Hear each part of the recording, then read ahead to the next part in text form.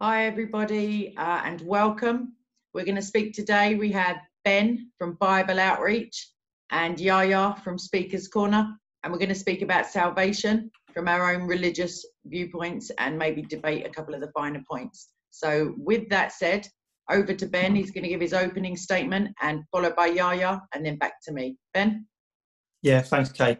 So, as Kay just mentioned, we're talking about salvation according to Christianity and also Islam because it's important because there is no there's no greater question than where are we going to spend eternity. So when we look at the both faiths, Islam and Christianity, and we examine the doctrine of salvation according to both faiths, it's important to notice which one of these is consistent with the nature of God. Because if our faith is from God, then the doctrine of salvation should show two things. It should show that both God is just and merciful, because God to be God has to be perfect in all of his attributes, which includes justice and mercy. so let's for a moment look at the Christian perspective.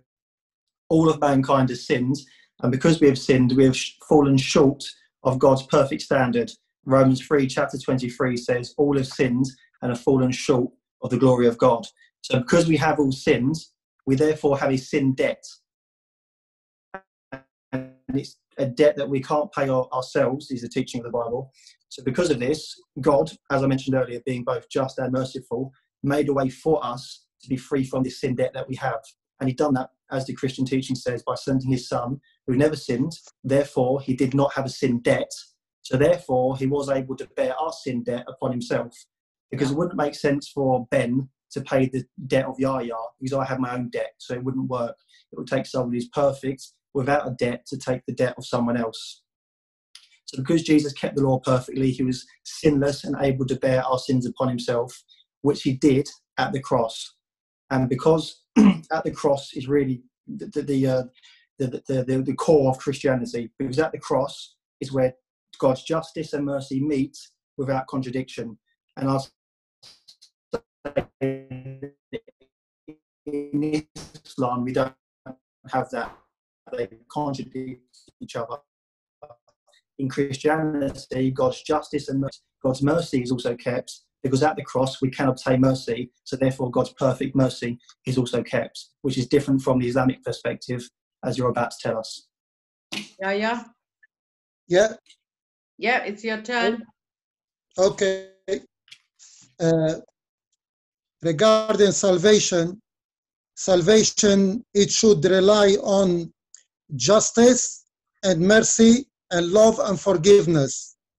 And uh, what Ben he said, in Islamic, uh, we we God create us not perfect, and we will never be perfect because we have the ability to sin and repent. And God give us the opportunity to redeem ourselves when we repent sincerely to him and he would forgive us for free as he know our weaknesses and our desire which which sometimes can take over. So the way of salvation in islam is very easy. As long as we sin we reflect upon what we have done we regret it we with sincerity, repent with tears, and ask the Almighty God with His forgiveness, with His love, with His mercy, and He would forgive us. Uh, regarding regarding what Ben said, uh, we are fall short of uh, glory of God because He's just and merciful. So He sent His Son who is innocent and never sinned to die for us on the cross to meet to meet justice and, and mercy.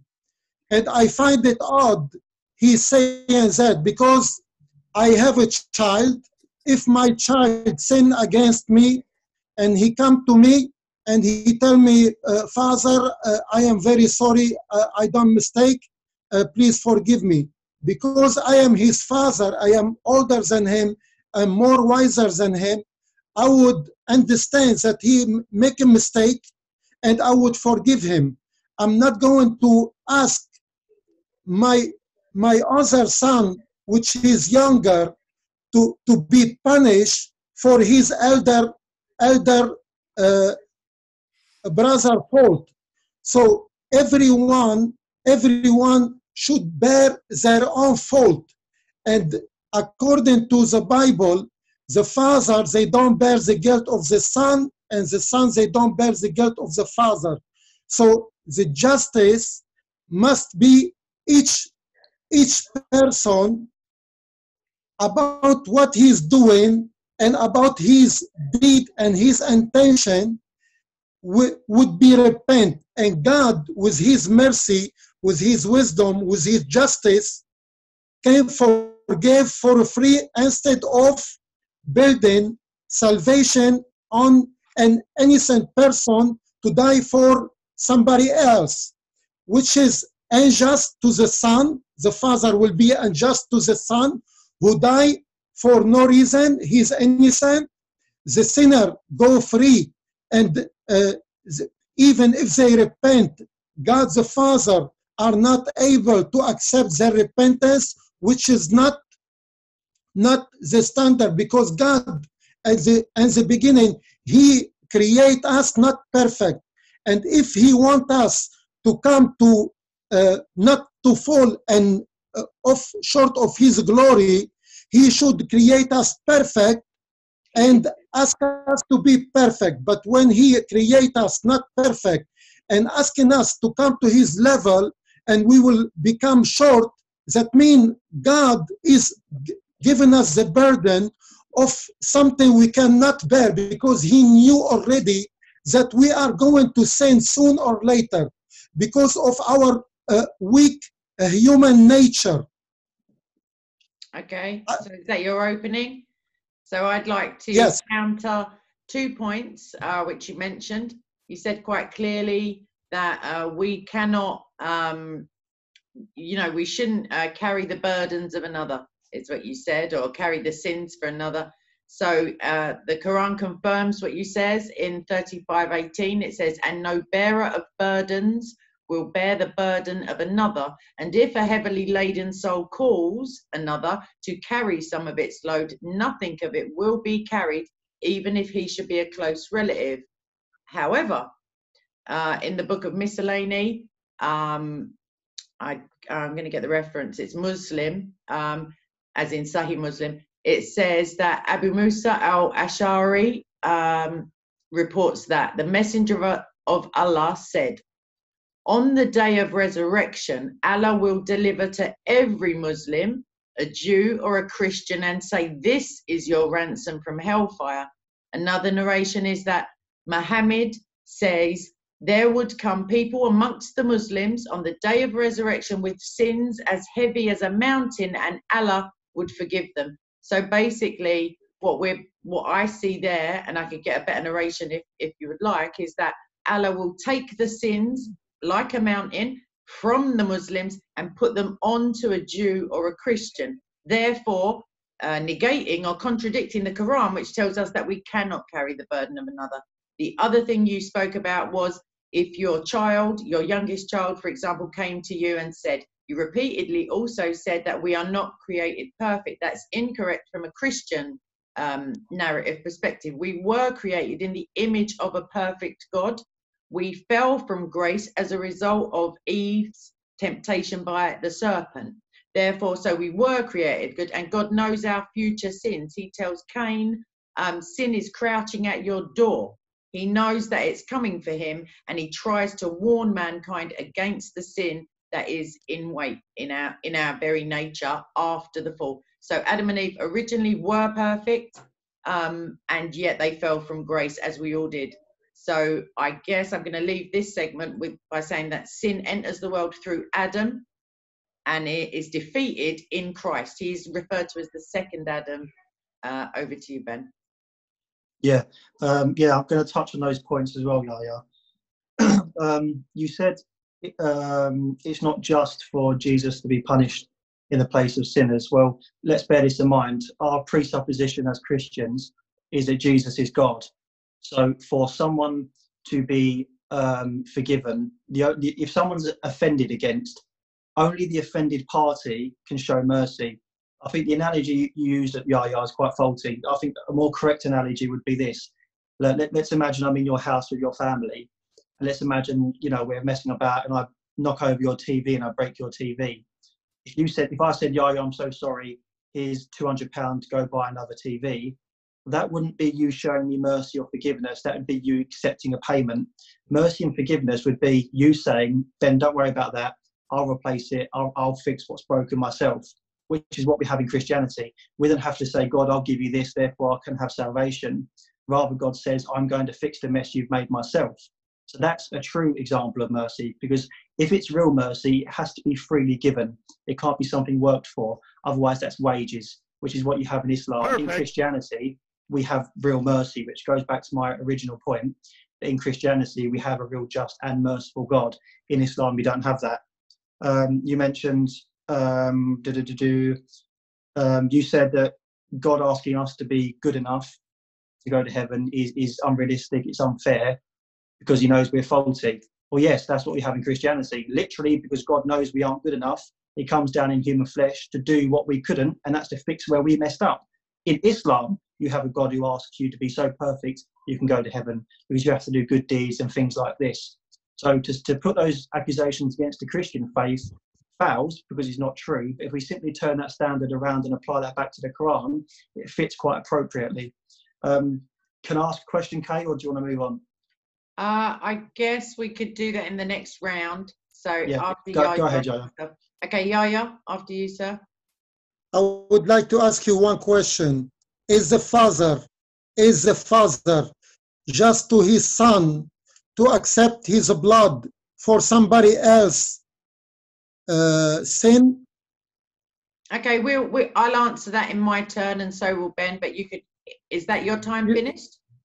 Okay, I, uh, no, no. I, I would like both of you. I would like both of you to answer this question. Then I will comment.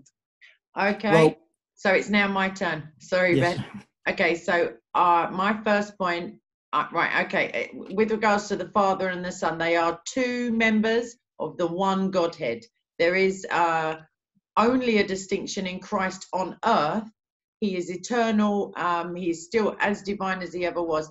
But we are told in the Old Testament that if a man sins for his own sin, he must sacrifice a lamb. He must get a scapegoat or a lamb and sacrifice them for this sin.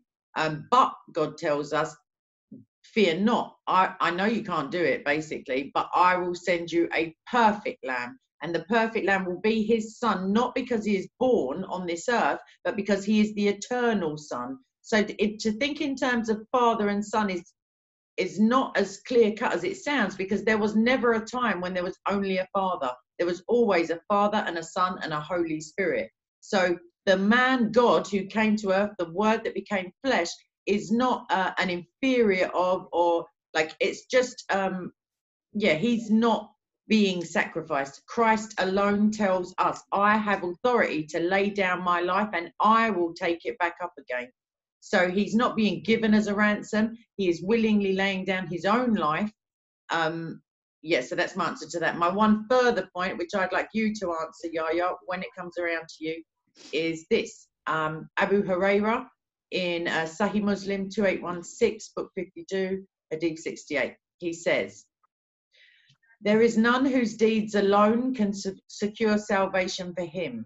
They said, Allah's messenger, not even you. Thereupon he said, Not even I, but that the mercy of Allah should take hold of me. Whereas we are told, I believe it's in the Quran, that Islam has a system of works and faith. So it's not enough to believe in Allah. It's not enough to submit to His will. You must produce these good works, um, which is a kind of could be ex- extricated from the Bible if you didn't read it in terms of salvation. So, uh, in that case, how can anyone work enough or repent enough uh, to do their like? I, as a Christian, I see the need for a real divine savior because mankind is so terribly sinful that God cannot tolerate any sin whatsoever. But Ben? Yeah, I'll, I'll pick up two points. Um, I will quickly touch on the question, but then um, I'd like to ask a question, if that's okay as well. Um, you said, is it just for God to, um, you know, have his son punished? I think Kay's answer was really adequate and really, really good. But um, I would also just add one thing that um, you're saying, is it just? If you want justice as a sinner, Yaya, then all of mankind should go to hell. It's because of mercy his son was sacrificed on the cross. So if you want justice, then I'm sorry, you're going to hell. If you want mercy, then accept what God done for you through his son on the cross. That's the problem you're having.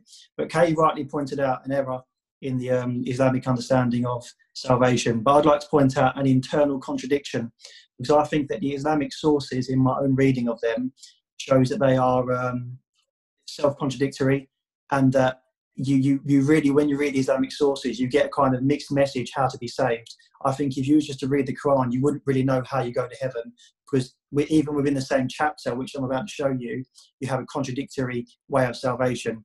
In Surah 4, chapter 4, uh, chapter 4 verse 48, it says, Allah does not forgive those who associate any partners with him. But then we have in the very same chapter, in verse 153, it says, The people of the scripture ask you to bring down to them a book from heaven, but they had asked Moses even greater than that and said, Show us Allah outright, so that the thunderbolt struck them for their wrongdoing. Then they took the calf for worship after clear evidences and, worship, uh, and worshipped it, basically, and we pardoned that. So in one verse, verse 48, it says, Allah will not pardon that sin. Then, you know, uh, I, I, just over 100 verses later, in the same chapter even, he contradicts that and says, Yes, I've forgiven that sin. But then when you continue reading, it's like the author of the Quran somehow forgot what he previously revealed, because then he goes back to saying that, um, do not despair, Allah forgives all sins in verse in chapter 39, verse 53. So in the same chapter, you have two contradictory statements. This sin will not be forgiven, then this sin will be forgiven. You carry on reading, then all sins will be forgiven. So I don't think you can really make heads or tails as to what can be forgiven and what you should do for salvation. I think the Islamic sources are contradictory and leaves you wanting. Yeah, yeah. You're done? Did you answer those? You're done? Okay. Uh, I guess both of you uh, try to avoid to answer direct a question with very short, very short yes or no. The father is not just with the son because no blood, no salvation according to you. That means God want a price tag for his forgiveness. And his forgiveness is rely on blood because even if you repent and you do good deed, God would not accept it from you. So God, he doesn't love you. He doesn't love the son. He doesn't love the world. He loves blood because the blood is the price to bribe him to forgive. Mm. And this is this is uh, there's no mercy, no justice, uh, and no love for anyone but for the blood. Why I say that? I say that because without the shed of blood of an innocent son, you wouldn't be granted forgiveness. And you said Jesus came willingly and he uh, gave his life. Yes. Jesus, I will remind you that Jesus, he spent the majority of the night uh, praying for the Father to be saved from the death, the humiliation death on the cross. And God, God, according to you, the Father want him dead, and he let the sinner let the Roman and the Jew crucify him so he can get his blood. Jesus, if he come willingly, Jesus, if he, if he come willingly to die, that he commits suicide. And yeah. if someone, someone, someone commits suicide and kill himself, that means he deserve an eternal hellfire. You said Jesus is God. Jesus, if he is God, God is immortal. He wouldn't die. If he take on the flesh and he's still a God, that means he's a false God. Because God is immortal eternal, ever living. Jesus is equal to the Father, you said. Jesus teach the Father is greater than the Son, greater than all, than I- all the creation. I don't understand why you nod your, your head and uh, and uh, negative way Yeah. because Jesus Jesus clearly said Jesus he, he the Father is is greater than I than Yes. the Son Yeah. and Jesus teach the- Jesus teach he is submissive to the Father the Father never submissive to the Son uh, Jesus worship and fell on his face to worship the Father. The Father never fall on his face to worship because he's invisible and he live in approachable light. So no one can see. And God, no one can see God and Can't live. answer all these points, And- though, yeah, yeah. Yeah, yeah, yeah, yeah. You, you spoke about the Trinity. Uh, Jesus teach the Lord our God is one. He didn't teach the Lord our God is one and three. I, I am one of them. I am one of the three. Okay. yeah, yeah. All right, yeah, yeah, that's Then- now, yeah, yeah, you Uh, can't go on to it. No, no, no, no, no, no. Yeah, yeah, I'm not here to I hear need- your I no need to I'm here to count, counter your points. You're making far too many. So let me pick Uh, up on some of the let's be fair. No, yeah, yeah, let's be fair. I- Let's be- Honestly, let's be yeah, yeah, fair. you've had more time than us. So let me try to counter your points. Otherwise, we're just talking past each other uh, with respect. So, Christ the man is who I was talking about. When I referred to the co equality within the Godhead, I was talking about the eternal Son, who is even in his form before he was incarnated as Christ. So, Christ is always a male human God figure. The Word is eternal. The eternal Son is from the beginning and to the end. When Christ is on earth, we're told in Hebrews 1 and 2, he himself is made lesser than the angels as a fleshly being, but his divinity remains immortal and intact. So when he dies on the cross, his flesh dies to the world. There's no more life in it. His spirit, the eternal nature of him, his essence, does not die because we are told where it goes and what it does. He is bodily resurrected on the third day. So no suicide victim comes back to life on the third day. I think it's quite uh, an incorrect exegesis to say that he commits suicide. He is God. When he says the Father alone, when he speaks of God, he is that God. When he dies again, he, he resumes the full glory of the Godhead rather than just the um, outward appearance of a man, which is is you know is just for 33 short years. So I say that he has all authority on in heaven and on earth with which to lay his own life down, with which to bring it back up again. It's not only him who uh, resurrects. We're told in another place that the Spirit of God uh, resurrects him. We're told in another place the Father, and that's the perfect example of the triune God working in to one accord in one essence. And uh, to be frank, I can't remember all the other points. Ben, I hope you've got a pen. Yeah, I've, I've tried to. What you've done, yeah, yeah, you've done the classic shotgun tactic. I'll shoot you with about 100 bullets and see if one will stick. Um, you, you mentioned a few different things. Um, God doesn't love because he wants blood and blood and all that Oh, kind of yeah. stuff. He said. Dracula. Well, well, no, it's it's because God loves that He comes down in human flesh and dies on the cross. It, that's because of His love. If He didn't love, then He'd let us all go to hell and go go our own way. But because He loves, He steps down in human flesh and takes the punishment we deserve. Philippians chapter two, verses five to eight says that although He was in the form of God, He did not count equality with God something to grasp onto, but rather He emptied Himself, took on the form of a servant, and died on the cross. He'd done that out of love not out of hate. Um, what else did you say? Um, do, do, do, you know, you're basically trying to make make out that Jesus didn't really expect to go on the cross. You know, he wanted to, he wanted to get off the cross. Was your point basically? Um, well, Jesus actually said, you know, his whole entire ministry that he will go on the cross. Matthew chapter 26, verse 2 says, um, this is Jesus' own words. You know that after two days the Passover is coming and the Son of Man is to be handed over for crucifixion. Mark chapter 15, verse 22.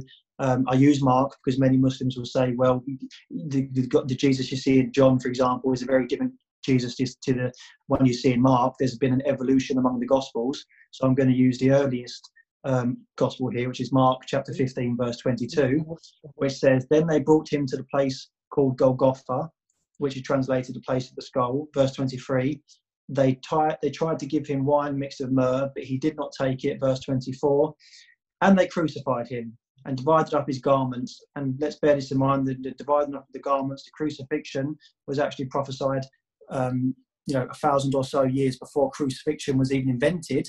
Uh, the crucifixion was actually invented by the Phoenicians, and the Romans adopted it because it was such a cruel tactic to kill people with. Um, in Psalm 22, we have Jesus, um, when Jesus is on the cross, and he says uh, in the original language, Eli, Eli, lama, uh, lama sabachthani, which means, My God, my God, why have you forsaken me? He's not saying those words because he, God has left him or he's, he's scared to go on the cross. He's saying these words because he's quoting Psalm 22, which every good Jew will know. It's like me, if I sing Amazing Grace in a church, all the Christians are going to finish the words. So when he quoted Psalm 22 there, that funny and funnily enough begins with those exact words my god my god why have you forsaken me he's talking about a chapter a psalm 22 which talks about the crucifixion. It goes on to say, They pierced my hands and my feet. This is describing an event that um, wasn't actually around at the time. Crucifixion wasn't invented until the Phoenicians much later.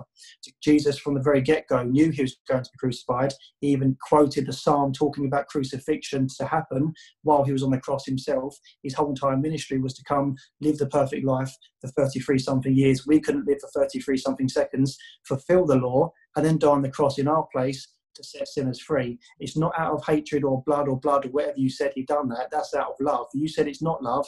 And give me something more loving than that. Yeah, yeah. Boom. Yep. Is your uh, yes.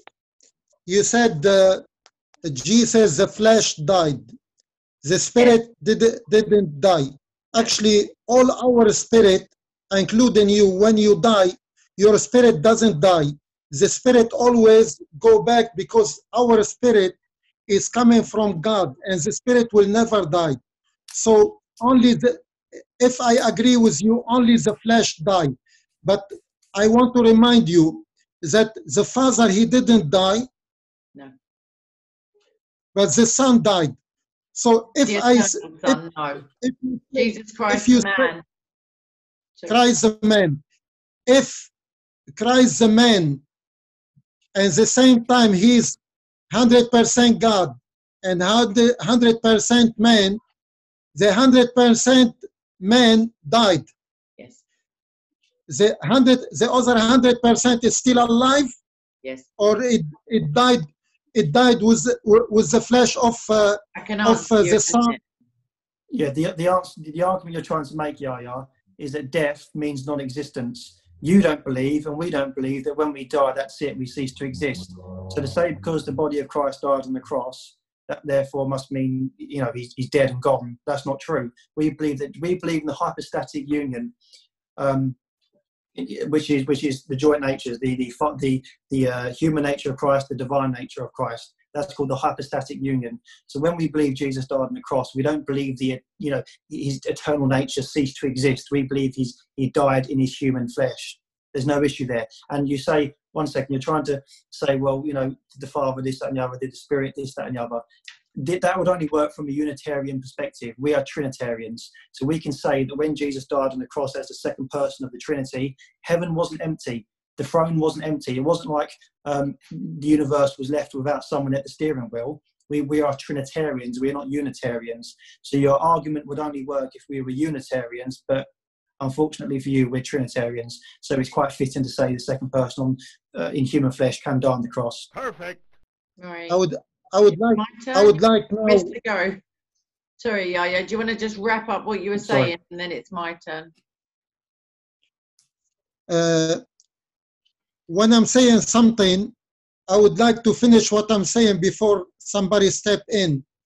Uh, what I'm saying is, uh, Jesus, peace upon him, teach the Lord our God is one God, as all the previous, all the previous prophet.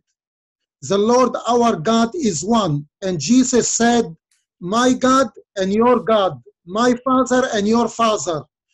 And Jesus cannot be equal to God as he teach that he submit, serve, obey, serve, glorify, and fell on his face to worship the Father who art in heaven and not on earth. And Jesus, when he teach uh, people how to pray, he tells them, go to your room and pray to your Father who is unseen. And Jesus was seen, so he is not God or part Not of God. Father, Because Yaya. he, please, can, you- can you please, can you Okay, please Well, you're allow supposed me to to be wrapping finish? up now, actually, because I didn't get a turn at all. So Eh, if you if you want to go if you want to go like we can have another one we are talking No, no, I about salvation yes, I mean we're having a few minutes each. So what I'm saying is Ben interjected, but I didn't speak at all. So like if you just wrap up rather than doing and you've gone on to this new thing, like if you just okay okay. Yeah. what what i want to wrap up salvation according to jesus. Salvation according to jesus. You can see it in john 17 3 john 6 29 john 12 44 plus 50 john 3 5 matthew 5 17 20 matthew 25 46 Luke 10, 27, 28, and Luke 13, 3 plus 5. This is the salvation according to Jesus, but you are follower of the salvation of Paul, which rely on the blood. And I will give you all right then. I will give you I will give you three uh, uh, a few reference for the viewer to check. Paul salvation, Okay. Hebrew 9, 9 22 26, Roman 6 23, Roman 3 23 25, and Ephesians 2 8 10. Yeah, yeah. Okay then. Chapter two. Great, Yaya. Thanks ever so much for that. Right, I'm now going to give my answer because I just I kind of zoned out because I know that Christ preaches his own cruci- crucifixion and resurrection. For you to argue against it means that on some deeper level you realize that that is the means of salvation. The true means of salvation comes through the blood of Christ. Uh, God, as in the Father, Son, and Spirit, because as Christians we can legitimately describe Jesus as God, the Father as God, the Spirit as God, but God, in all his triune nature, decides he cannot have sin anywhere near to him. He cannot be in the presence of sin. We are told that we are washed by the blood of Christ. So the blood of Christ means that on Judgment Day, please God, when he looks to me, he won't see my sin at all. He will see the blood of Christ. He will see his beloved Son, whom he had begotten, and he will see the sacrifice therein. But coming back to Islam, because uh, that's you know the topic of our debate also, I'd like to say this that um, on in the book of on vows and oaths. Let me see if there's a reference for everybody. It's Sahih and it's uh, Tirmidhi, and the reference is book 20, Hadith 26, but it's uh, Tirmidhi 1547. So it says this Abu Amama and other than him from the companions of the Prophet narrated that the Prophet said, Any Muslim man who frees a Muslim man, then it is his salvation from the fire. Each of his limbs suffices for a limb of himself. And any Muslim man that frees two Muslim women, then are his salvation from the fire. Each of their limbs suffices for a limb of himself. And any Muslim woman that frees a Muslim woman, then she is her salvation from that fire. Each of her limbs suffices from uh, for a limb of herself. So, on that subject, I'd like to touch upon the fact that no one can carry the burden of another. So, saving somebody shouldn't uh, give you any salvation. Also, the fact that a there's good excuse me, excuse me. So any Muslim man who rescues another Muslim man or two women, because they're only worth half as much, will be saved from hellfire. His mountain of sins doesn't need to be put onto a Jew or Christian. He's got a free pass. He gets straight in. That's um, a method of works. And as Christians, we don't believe in works-based salvation. Jews and Muslims do have a legalistic sense, and this is what I'm going to close on, and then you two guys can have one more time, uh, turn. This is my uh, bottom line case to you, Yaya, in terms of Christianity. So, as a person who has Sharia within your own religion, you understand the legal terminology of God. We Okay. are, we have sinned. The wages, the penalty for our sin is the death sentence. We must die. We're going to the electric chair, whatever, however you want to think of it. So we've been destined to die, and yet an advocate comes in for us. God Himself takes Himself out of the judgment seat. He steps into the courtroom and He uh, pleads our case. He, a lot. He. So the judge, even a human judge, must remain. Uh, above the law in in respect. If he, if he lets a murderer go he's not a just god even if the murderer is his son his brother. But in order to have mercy he will allow an advocate a perfect lamb to come and pay the fine. So instead of the death penalty we're allowed to take a penalty charge notice and christ came and paid that fine. And on the cross his last words were it is finished. The debt has been paid for those who are called according to his purpose for those who recognize him as God, repent from their sins, um, and trust alone in Christ as a means of salvation and a way to God. So I'm going to pass it to Ben. That's my closing you. statement. Thank Thank you. you, so much, Yaya. I'm sure we'll Yeah, Before, yeah, yeah, yeah, yeah, it's you yeah, go, yeah. It's going to be your turn again. Before you go, just uh, before you go, just uh, two verses before you go. And then you, Ben, Uh, wrap up. yeah, before you go, Islam salvation, it is on a good deed and belief and oneness of God. Okay, Okay. regardless of, of Sahih or Bukhari or whatever, we rely on on Quran. Uh, second point, the father is the murderer as he gave his son to die. So the father is the biggest God sinner. you, and he is Repent. he, he sent his son to die to save the world. That means he sends the son, he is responsible for the murder of his son on the cross. And Okay. he's part of it because he's part of it because he didn't save him as the, the, the old scripture says that he will send his angel and they will save him and Yes. carry him with his hand. So the father, he is a killer You sadist because he is the one. Yeah, yeah, it's my turn gonna speak. Yeah, You yeah, it's my can turn to go now. You Put your can go now. Yeah, yeah, yeah, yeah, yeah, yeah, yeah. She, she's not going. She's just saying she's finishing her I was finishing my Now, part, Yes. and now, Now it's now it's now it's my turn. now Okay. you're closing. Okay. So I'm gonna I'm gonna touch on a few things he brought up because I can't allow him to get away with the things he just said. He's butchered the Bible. Um, you said that um, Jesus, you know, Jesus showed them how Uh, to May pray. I ask you? I will mute. Yeah, yeah. Let let me finish. Let me finish. Okay. Okay. okay. You said that you said that Jesus showed them how to pray, and um, you said only pray to God, this, that, and the other. Yes, as God in flesh, he's not going to become an atheist. He's going to continue his earthly relationship with his Father through earthly means, which would which, which would be prayer. Now, talking about the prayer of Jesus, you're trying to use John to prove Jesus prayed like a Muslim. Jesus in John chapter 14, verse 13 to 14 said, Whatever you ask in my name, this I will do, that the Father may be glorified in the Son. So you cannot believe Jesus said those words because Jesus said, Pray to one the Father. He also said, Whatever you ask me in my name, I will do it. So here Jesus is saying he will answer our prayers if we pray to him. We see this in the very next book of the Bible, Acts chapter 7, where Stephen's being stoned to death. His final words are a prayer. He says, Lord Jesus, receive my spirit. You cannot believe Jesus said those words, yet you use the verses around it out of context to make a point. You said John 17, 3. I've answered that in the one on one debate we had, which is absolutely ridiculous. The two verses before that, Jesus says um, the, uh, he, God is his father and he is God's son. You cannot believe Jesus said those words. The two verses after, in verses 4 and 5, Jesus says, um, Now, Father, give me the glory I had with you before the world began. You cannot believe Jesus said those words. You take the verse in the middle, drag it kicking and screaming out of its context, give it a meaning it's never meant to have to try and fit your narrative. That's called butchering the Bible.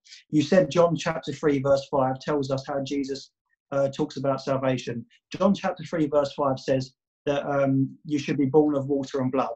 It doesn't say you are saved by works of the law or anything like that that sounds Islamic. That verse, I don't know why he brought it up. It doesn't fit anything. You know, you shouldn't used that as an argument. It's, it's a mute point. It doesn't make sense to use that as an argument. Um, you're saying that um, God is a God is a killer for killing his son. Well, let's turn this logic around for a moment. You believe, according to Surah 4 157, that it's Allah who made it appear to them that Jesus was crucified. So if you want to blame anyone for thinking Jesus was crucified, blame your own God. Don't blame the God who sent his son in love to be crucified. Blame your own God. So the point doesn't stand. Now you keep, I've noticed this twice now. Kay asked you questions, I asked you questions. You've not actually answered any of the point we said. You seem to be throwing your hands up in the air, shotgun, shotgunning us with a load of verses that actually have nothing to do with salvation, most of them. Um, but you don't actually answer any of our, any of our points. I'll bring you back to the points we've made. Answer Kay's question that she asked you. Answer the question I made. You're saying salvation is clear according to the Quran. Well, according to chapter 4, just in and of itself, it's not clear. In verse 48, it says, God does not forgive anyone. It says, God does not forgive anyone who associates partners with him. In the very next, in this, in the exact same chapter, it says that God forgave people for worshipping a golden calf. That is associating a partner with God. So there we have in the same chapter, God doesn't forgive this sin, but then later on he does forgive this sin. Which one is it? And I think it's clear to see if this is being piecemeal to Muhammad over a period of time. If verse 153 is later than verse 48, it's clear to see maybe he forgot what he said in those previous verses, which is clear evidence it's from a man. I don't say that to be harsh, but I'm just putting my case forward.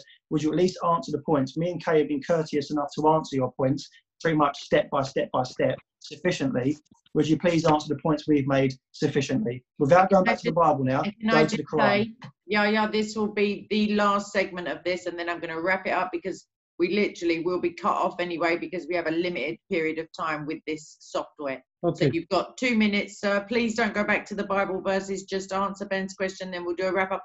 I'm happy to. We can come back another day and carry on. okay. Sure. Okay as the Quran, there's two verses and the whole Quran, it say that God would not forgive anyone who associate another God with him. Two verses and the Quran and the whole Quran. But if someone associate a God with, with Allah, then he repent before he die, God will forgive him because he repent with sincerity. So God is all forgiver. But if someone die on his belief there's another God was God, God wouldn't forgive him. And why would he, uh, what would God forgive him? And he's associating somebody else with God. And even in Isaiah, it teach you that there's only one God and there's no God beside me or before me. So there's only one God. Then my, my question, why you prefer a God who allow the sinner or the Roman and and uh, uh, the the Jew to kill his son so he can shed his blood, and you reject a God who would save his son and forgive you at the same time. Why you want the blood to be this uh, only out of your salvation and you forget that God mercy is bigger than anything you can do. I don't understand who teach you that the sin is bigger than God mercy. Then he talk about Father glory. Uh, Father glorifies the Son. The Son, he didn't, he wasn't glorified at all. Okay, he was a humiliated. the Bible though, Yahya. We we kind of you've answered beautifully. Um, ben. Okay, just uh, uh, just one, one minute. The Father, he didn't glorify the Son. The Son, he received only humiliation, death, on the cross. Thank you very Excellent. much. Thank you so much. Right, I'm going to wrap this up for all of us. Thank you very much for listening. I'm pretty sure. Have a nice evening. Okay, you too. I think the comments are going to be quite uh, interesting, at least. I'm sure that if, if you have any questions, anybody on the YouTube comment section, including Syed F11, hello, sir, then I would like to see them. And we can always come back, please God, another time if the rapture doesn't happen or if, uh, you know, basically yeah, we'll, we'll get there. I'm sure we'll answer all of Yaya's points. all right, then. God bless you both, gentlemen. I'm going to stop recording now, and then I'm going to uh, chat to you quickly, and we can go from there. All right. God bless everybody. Thank you very- Oh, Thanks- thanks, share and subscribe to Bible Outreach. Thank you I very don't know if Yaya has a channel, but check it out anyway. And uh, we'll see you soon. God bless you all. Bye bye.